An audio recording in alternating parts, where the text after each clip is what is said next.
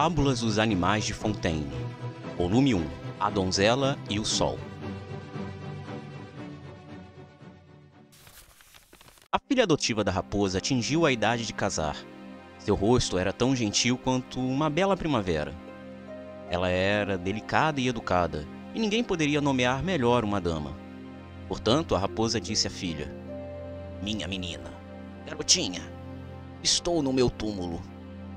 Em breve posso não ser capaz de cuidar de você como antes. Por favor, escolha um marido para você. Todos ficariam honrados em ser esse.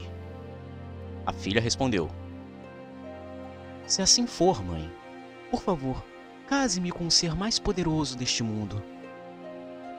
Ah, e esse seria o sol, disse a raposa. Meu genro você será, ó sol brilhante no céu. Não, o sol recusou. Essas nuvens são mais poderosas, pois bloqueiam meu brilho. Então é assim.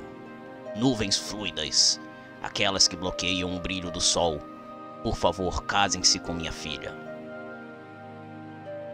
Oh, isso não serve. O vento me leva embora tão facilmente. É melhor você confiá-la ao vento.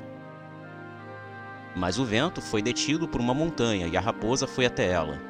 E a montanha hesitou, citando conflitos com um rato.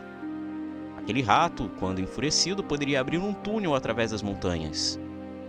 Assim, era muito mais poderoso que as montanhas, não era? O rato sugeriu o gato, o gato, o cachorro, e o cachorro, o lobo.